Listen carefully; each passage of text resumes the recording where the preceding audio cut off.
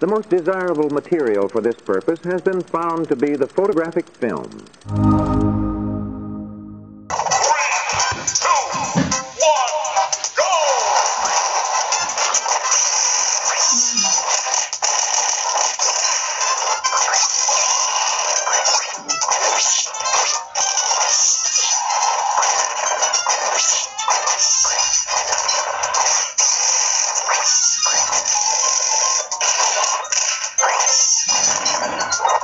you.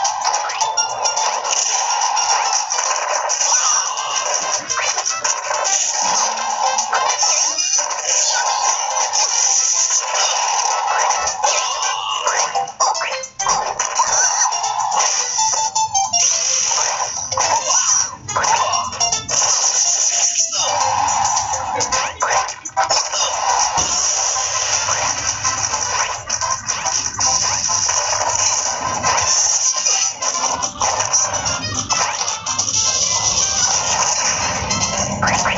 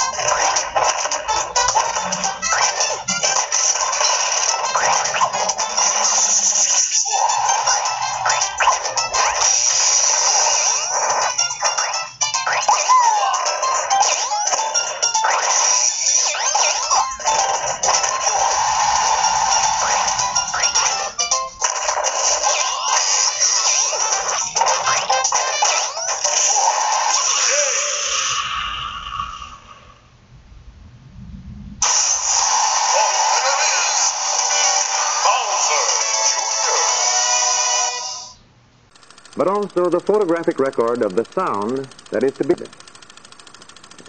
The sound and picture are usually photographed on separate films, which are called negatives.